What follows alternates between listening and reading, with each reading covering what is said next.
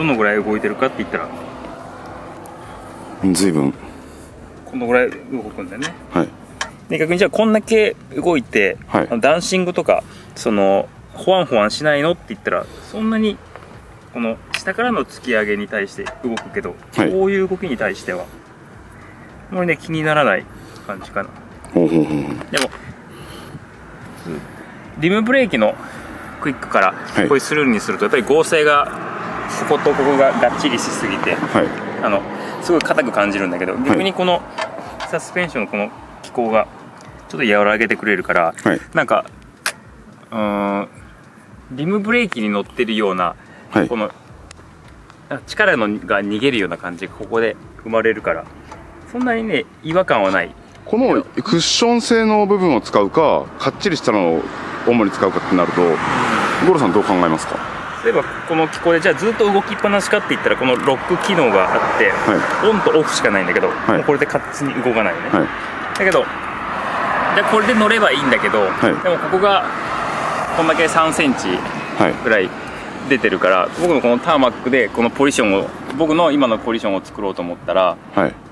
こういうほんと74度とかも下手すればもうマウンテンバイクのこういうステムをつけてこのぐらいのハンドルの位置を持ってこないといけないから、はいポジションが出せるかどうかっていうのが問題になるかな。あ正確に決まったポジションじゃなくてこの3センチ。やっぱりこうやって上がってしまうからだけど、でも逆に僕たちぐらいのサイズで、はい。もうこの気候が3センチプラスされるんじゃなくてもうここに全部入ってるんだったら、はい。これはすごい普及するだろうね。だけどここでまあ 300g ぐらい重たくなるメリットはそんなに持ってもやっぱり軽いけどこうやってフロントがこうやって下がうんる下がりますね。ぐらいで、まあ持つ位置にもよるけどね。だけどまあ 300g 重たいけれど、はい。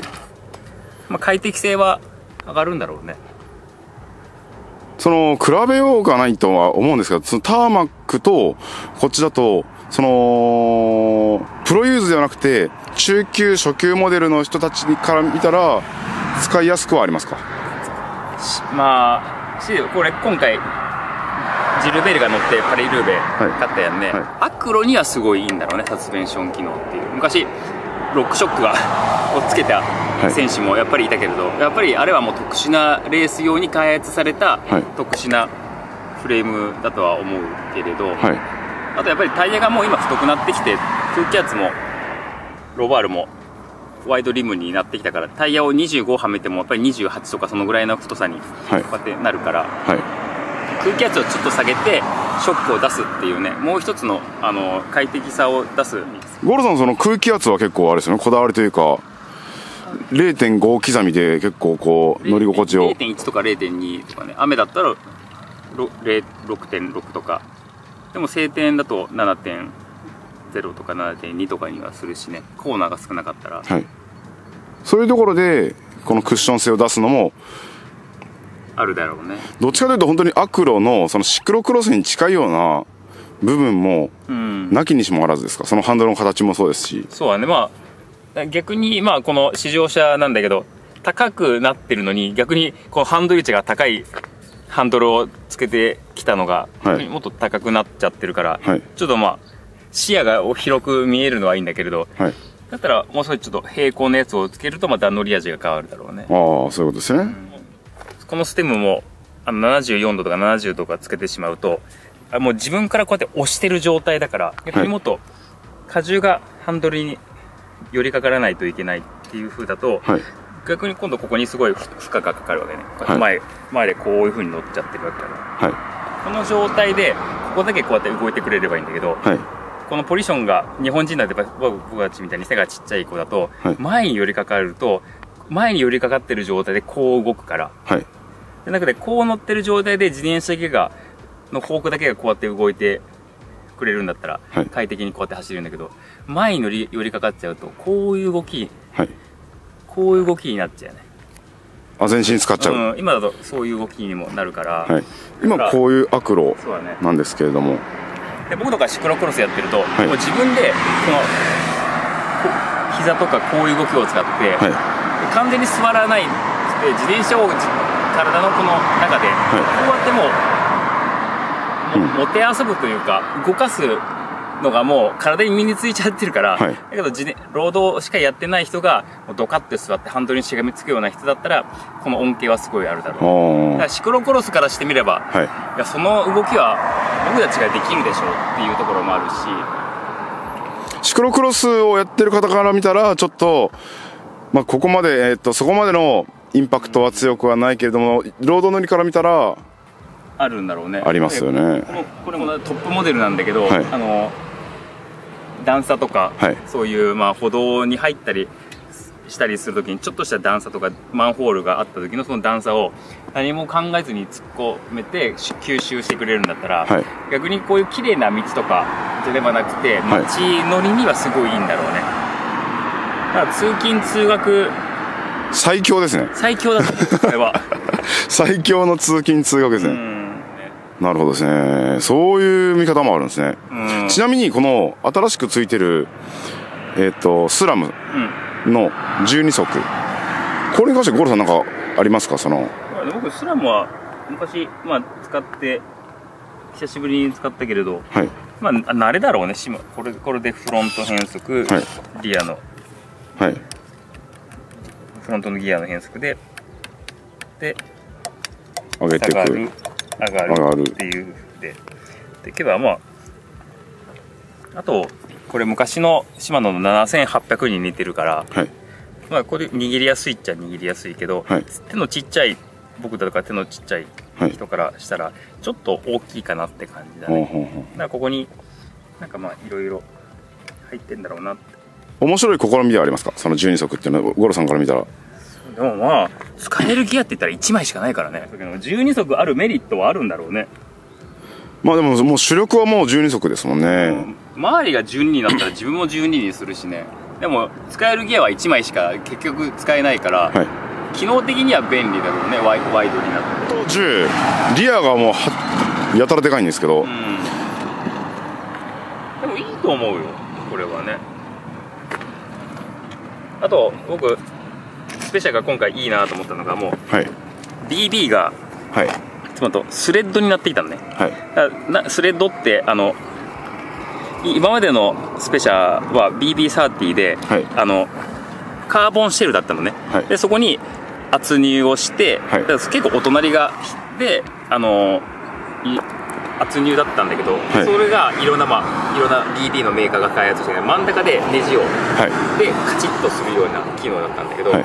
でも結局島のタイプっていうかこのこのフレームにもうネジが切ってあるのねはい。でネジをこういう風にややるとここでもかっちりなるからはあのネジとネジででいつまで圧入と、はいなんでシェルが削れてきたらやっぱりここが動くっていう風になってしまうから,、い。はい。だからそのタイプにまあ島のタイプに変えてきたのがここね大きな、大きなこうん結局あのこっちにネジが切ってあってこっちもネジが切ってあるからお隣がしないのねあとメカニックがすごい楽なのね。うん。お隣お隣っていう風で。僕も昨日メカニックしてお隣がって言われてえこんだけグリス突っ込んであんだけネジがあるのにえネジ音するのっていう風だけど結局 BB からのお隣だったんだけど、はい。これになったのが僕はルーベを試乗してああやっぱりあの いろんな BB の企画が現れたけど、はい。結局は元に戻るやんっていうので、はい。自転車屋屋さんが見てこれが一番いいのがだからこれが、うんで次のスペ SL7 になもうそうなってほしいけれど、はい。このスレッドタイプになっていくと、だってもうお隣って言ったらメカニックの技量じゃんね、はい。どんだけ例えばシェルが削れてるのにグリスを詰めたとしても、はい。で杉野のテープとか BB に巻いて圧入したとしても結局もうシェルが削れているからどうしようもないね。シェルが削れていくとでもこれだと削れることがほとんどなくてはい。なんでこれだともうシマノだと4 5千円でドライカー買えるしポン、ポンって入れればいいです作って入。れていくと、はい壊れにくいっていう丈夫なパーツを使えるしとにかくセラミックもいいんだけどお隣がしないのが実のこのスレッドタイプのいいところだから結局長距離とかそういう毎日乗ったりとかして、お隣、そのカリカリカリカリとか、そうそうそういうのってすごく気になるじゃないですか。気になるそのメカニックのしやすさとかその丈夫とか合成とかそういうのも関係あるんだけれど、はい。結局、ま、ペラネロが絶対ここを変えなかったのはそういう意味であやっぱりレレースの現場であの土培った。培った。でそれを販売店に落としてくれるから、はい。やっぱりあのなんでメンテナンスしやすいっていうのがねいいんだろうなと思うね。そこは重要ですね、すごく。簡単だもん。いあグリスきっちり塗って入れていくだけだから。はい。ね、シンクの。基本このスタイルなんですか？このスタイルで2枚も2枚持ってる。このこれをずっとはい。年間通してずっと着ていくだけだから、僕ウェアの消費は本当に少ないね。これも半年持つしそうすると年間6万円ぐらいで運用してる感じ。かな、おー。これ3ボルトなんですね。これかっこいい。1万円ぐらいだしねこれ。これは、あれですもんね。3ボルトの防水細工ね。ももちろん防水ですもんね。うん、で強いて言えばこうやってまあギャラクシー S9 なんだけど、まあ入るっちゃ入るね。ちゃんと整理すれば。おお。でいいろんなのがまあリップクリーム入れたりとかしまこれが入ったり。とか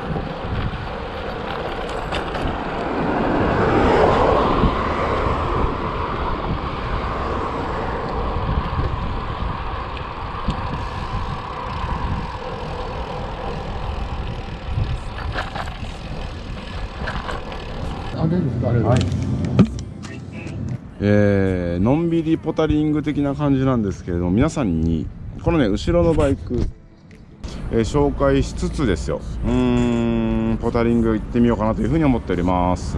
さあマイフレンドケンちゃんがね到着です。ケンちゃんのバイクは、えーチームマシーン SLR02 っていう僕が、えー頑張って、あのー遠出したあのバイクの少し前の方ですね。ここの部分。シートチューブがちょっと穴開いてますよっていうタイプの、えー BMC の、えー SLR02 チームマシーンでございます。こうやって見るといかついですね。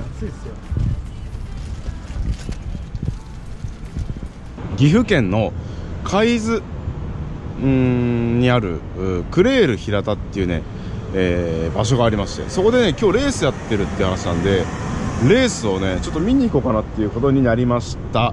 このねクッションがどれぐらい効くのかっていうのもね結構気になるところですよね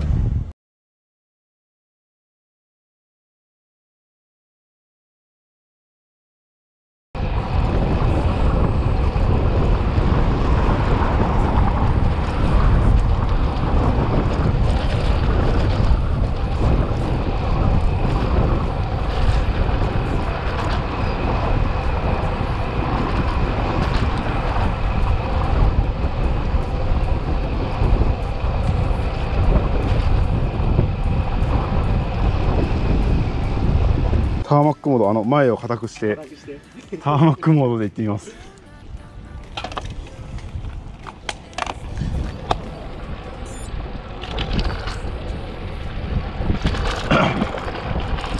おおこいつはターマックだ。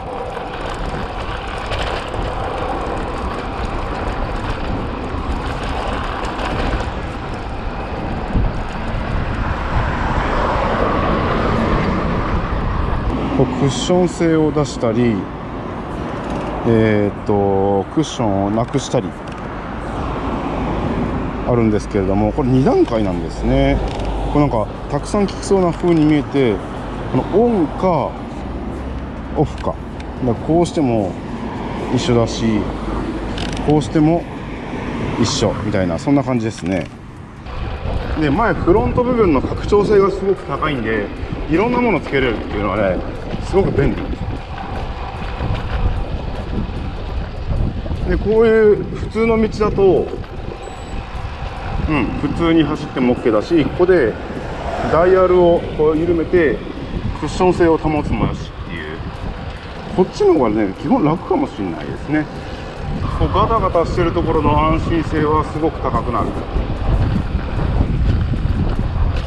こういう感じね。でも普通の道だと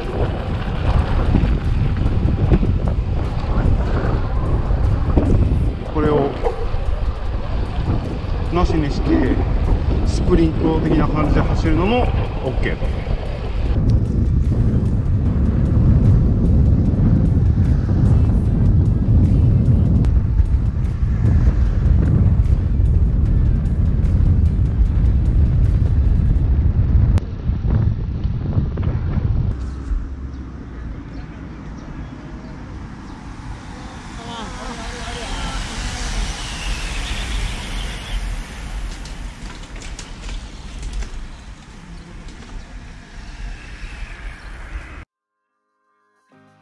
えー、皆様どうも3月 TV のお時間でございます。今日はですね、えー、皆様にこのね1台、えー、スペシャライズドの S ワークスルーベ2020年モデルですね、えー、さらにですね、えー、見てもらって、えー、分かる通りですね。えいこのね、えー、 SRAM RED eTap AXS、えー、これはですね12速のタイプのコンポーネント。これがついているっていうねまあ迷うことなきスペシャルな1台。これをですね、えー、紹介をねしたいと思うんです。まあせっかくなんで最後まで見てってもらってあこういうタイプのバイクもあるんだなあなんてことを思っていただけると幸いでございます。さあ超一流って呼ばれるタイプのコンポーネント周りから全てですね揃っております。もう噂が噂を呼んでおりますけれども世の中で見たことがないっていうスラムレッド E タップの12足バージョン、えー、しっかりと評価させていただきました、えー、ホイール周りはですね、えー、あの噂のですね CLX の32さあタイヤはですね、えー、こちらがあ28のねコットンターボでございます。コットンだと2426が多いのかな。コットンターボ28でございます。282624なんていうね、えー、くくりなんですけれども今回のこちらは28そして、えー、このね上の部分のここですよね。まあ皆さん気になって仕方がないって言われる、えー、油圧のね、えー、ルーベ用のはいバネがね入っておりますよ。さあこのねスラムの、えー、ハンドルえー、コンポーネントですよね。しっかりと、え、乗ったことがありませんでした今まで。さあその中ね、え、こうやって用意をしてもらってですねしっかり乗ってみたんですけれどもスラムレッドの、えー、ハンドル周りでございます。ハンドルに関してもこれはですね珍しいこのねカモメハンドルのノーマルタイプに見せつつの、えー、カーボンのハンドルでございます。S ワークス S ワークスセット。でえっ、ー、とねスラムのレッドのこのね、えー、E タップ。なんで配線類はね一切ありません、えー、油圧の、えー、ブレーキ用のねケーブルがついているだけでございます。持ちやすくてなおかつちょっとね結構段差があったりしてで拡張性がめちゃめちゃ高かったですね。いろんなものつけれました。でここのね、えー、ダイヤルここにね皆さん、えー、興味満載だと思うんですけれどもバネのあれがあついております。はい。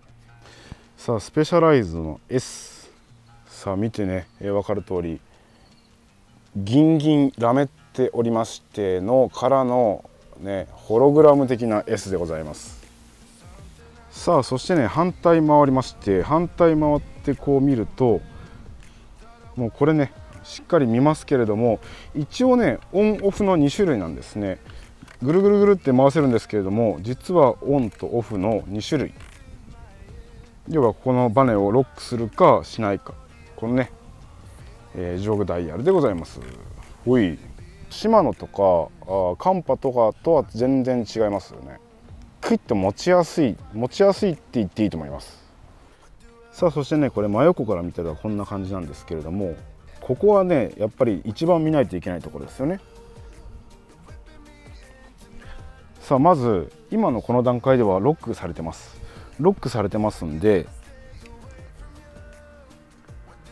こういった感じにえー、っとここのねショック2.0ね完璧に、えー、固まっております。ということで乗り心地はこのこんな感じだと、えー、ターマックですよね。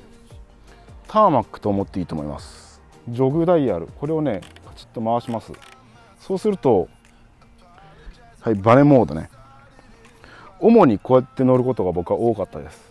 このね、えー、ロックはもう完全にカチッとこうねどちらかというともうねいつもバネをね効かしてるかなっていう、えー、そういったね、えー、使い方をすることがにょはい。基本的にこのねバネは、えーショックね、えありの状態。にしておくことがほとんどだと思われます。さあそしてこのねフロントフォークからの太タイヤ、えー、これもね28なんですけれどもそういうねぶっ止めのタイヤでもグラベル的に扱えますぐらいの勢いのある、はい、フォーク周りでございます。前から見るとね穴こんな感じ、えー、上からね降りてきまして、えー、スラムのさあこちらですね。はいはいはいはいはい。初めましてかもしれないですね。12足でございます。スラム46の 33T、えー、ちょっとね、まあ、気持ちコンパクトかなというふうに思いました。でここの9の部分ねこれはねパワーメーターです。パワーメーター内蔵型。で今ね、えー、このペダルは外してあるんですけどペダルもね自由にいろんなものが付けれまして、えー、僕はねシマノを使っておりました。このね AXS これねスマホのアプリであのーこのねスラムレッドのこのアプリがございます。これ見てもらっていろんなねパワー見たりとかでこの辺のバッテリーはねご存知おなじみのあれでございます。さあ後ろに回ってくると12足のねはいこちらが初めましてかもしれないですよね。こういった具合になっております12足。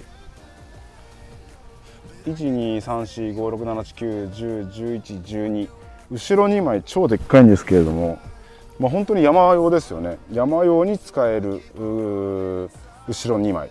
で一番前は10ハンガーはこういった具合。ここにもね AXS アクセス、えー、アプリのね連携ができますよなんていう感じでございます。さあそしてチェーンがねほら上はあまっすぐ。だけど下はチェーンがのえー、モコモコがございますみたいな。さあワイヤー用にね、えー、ダウンチューブにはワイヤーでも使えるように、えー、シートポストの下の台座の部分ねここの部分がシートチューブのここがね、えクッションのあいつが入っておりまして。サドルはですねはいこちらパワーでございます。じゃん S ワックスのパワー。これがね標準でございます。今流行りのショートノーズってやつですね。乗ってみたけど結構乗りやすい。うん。ショートノーズ結構流行りですけれどもまあ確かに流行る理由は分からんでもないかなというふうに感じました。結構なプレッシャーになるぐらいのかっこよさね。さあ裏側に回りましてはいこちら。BB 周り見ていきましょう。こういった具合です。ちょっとごつめの BB ですね。うん。パワーメーター内蔵だからかな。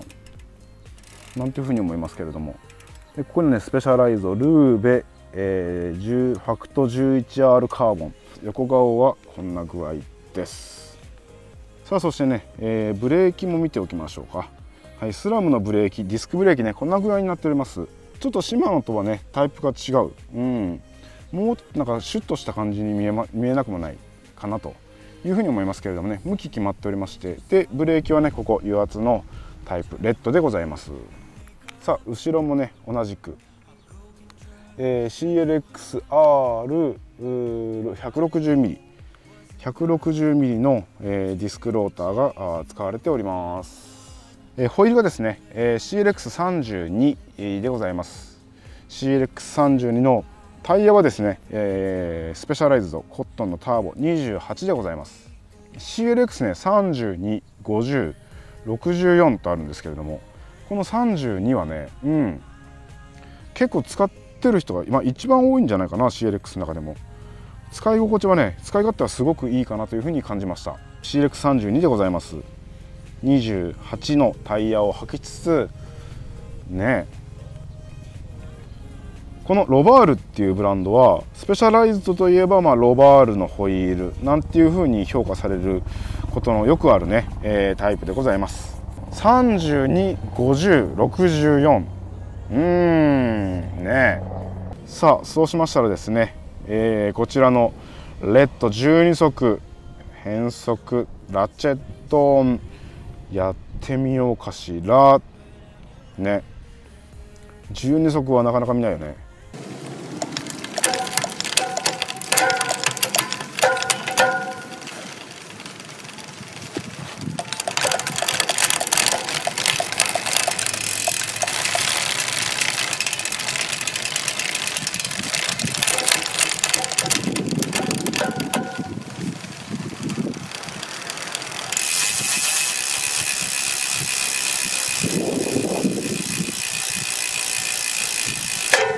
えさあ、えというところでね今回紹介させていただきましたのが、えまあ、スーパーバイクです。